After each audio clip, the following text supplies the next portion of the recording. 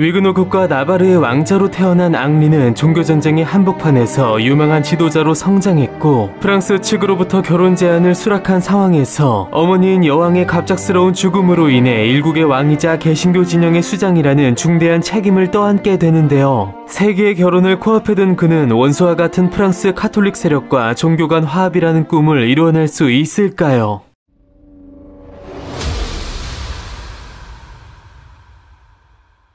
1572년 8월 18일 파리의 노틀담 대성당에서는 극심한 종교 갈등에 놓여 있는 프랑스인들의 화합을 염원하는 세기의 결혼식이 거행되었으니 그 주인공들은 바로 동갑내기 사이인 나바르의 국왕 앙리 그리고 프랑스의 공주 마고였습니다. 그러나 앙리는 어머니의 사망의 진실에 대한 의구심으로 팽배해 있던 데다 정략 결혼일 뿐 결혼 상대에 대한 별다른 애정이 없었고 개신교도와 원하지 않는 결혼을 하게 된 마고 역시 예식 과정에서 예법을 어기고 고개를 숙이지 않는 등 혼사의 비협조적 태도로 일관했는데요. 이처럼 강제된 화합 속 애정 없는 결혼을 감행한 두 이교도의 불편한 모습은 앞으로 일어날 거대한 비극을 어느 정도 짐작하게 했습니다. 한편 그 비극은 어쩌면 이 예식 과정에서 이미 시작된 것인지도 모르는 일이었으니 당시 예식에 참석했던 위그노 가스파르드 콜리니에게 예식 도중 흉탄이 날아들어왔고 다행히 총탄은 그 왼팔을 꿰뚫는데 그쳤으나 범인이 그대로 달아나 그의 라이벌인 기즈가의 저택 근처에서 종적을 감추는 일이 벌어진 것이었습니다. 당시 위그노 진영의 지도자이자 프랑스 해군의 제독이었던 콜리니 백작은 뛰어난 능력과 매력을 통해 국왕 샤를 9세의 신임을 얻으면서 왕을 위그노로 개종시켜 자신들의 세를 넓히려 하고 있었고 그의 옛 친구이자 권력의 실세였던 카트린은 자신의 아들을 끼고 카톨릭 진영의 세를 위협하는 이 개신교도를 두고 제거할 필요성을 느끼던 상태였는데요. 그렇게 어쩌면 콜리니를 결혼식 하객으로 끌어들여 암살하려 한 그녀의 계획이 미스로 그친 상황에서 결혼식 직후 분노한 위그노 진영의 귀족들이 카트린을 찾아와 사건에 대한 진상규명을 요구하는 등 험악한 분위기를 조성하게 됩니다.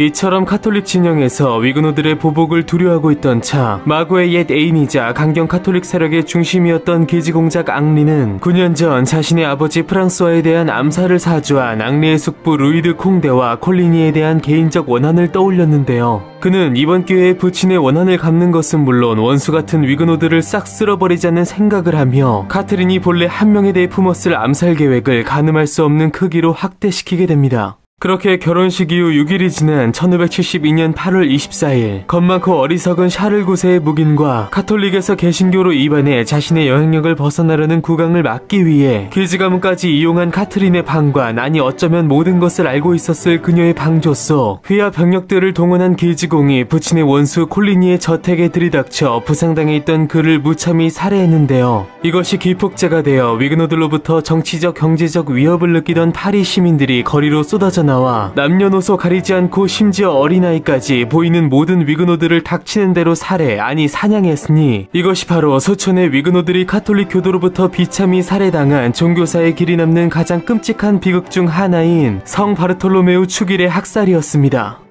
한편 어리석은 왕 샤를 9세가 방에 틀어박혀 밤새 공포에 떨고 있는 상황에서 그의 여동생이자 사랑 없는 결혼을 했지만 엄연한 아내로서 자신의 책임을 외면할 수 없었던 마고는 사실상 위그노들의 수장으로서 학살을 주도한 카톨릭 진영에 있어 어쩌면 가장 중요한 제거 대상인 남편 앙리와 그의 가신들을 우선적으로 보호했는데요. 차마 자신의 사위까지 죽게 할 수 없었던 카트린 역시 기즈가로부터 앙리를 보호하는데 동참했고 그렇게 목숨을 부지하는 대신 카톨릭 카톨릭으로 개종할 것을 강요받은 앙리는 강제 개종 후 사실상 반감금 상태로 파리에 머무르게 되었으니 그 기간이 무려 3년이었습니다. 사실 어린 시절의 태반을 이미 이곳에서 보냈던 데다 타고난 사교성 때문인지 앙리는 프랑스 궁정 생활에 무리 없이 적응해 나갈 수 있었는데요. 한편 성 바르톨로메오 축일의 학살 이후 충격적인 참극을 목격하고 죄책감에 사로잡힌 샤를 9세는 실성해버렸고 원래가 유약했던 만큼 오래 지나지 않아 결핵으로 사망했으며 당시 폴란드의 왕이자 앙주 공작이었던 카트린의 삼남 앙리가 고국 프랑스에 돌아와 왕위를 계승했으니 그가 바로 프랑스 발로아 왕조의 마지막 군주가 되는 앙리 3세였습니다.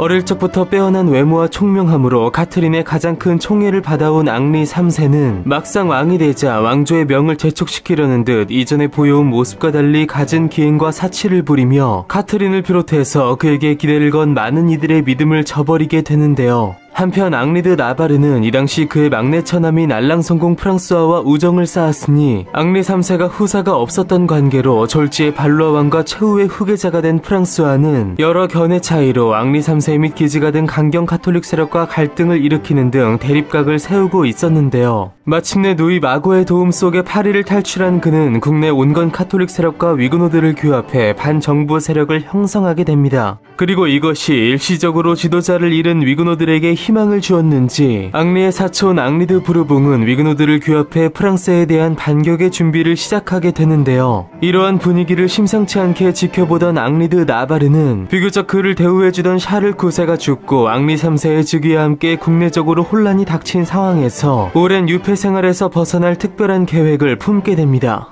마침 지난 성 바르톨로메오 축일의 학살 이후 사건을 주도하면서 정치적 힘이 더욱 강해진 기즈가는 카톨릭의 수호자를 자처하며 발로아 왕가를 더욱 홀대하는 등 갈등을 조장하고 있었는데요. 그리고 이때 기즈가의 세를 누를 필요성을 절실히 느낀 카트린이 자신의 소나기에 놓인 사위를 이용한 특별한 비책을 내놓은 것인지 사냥을 핑계로 외출한 앙리는 또다시 아내 마고의 도움을 받아 끝내 파리 탈출에 성공하게 됩니다.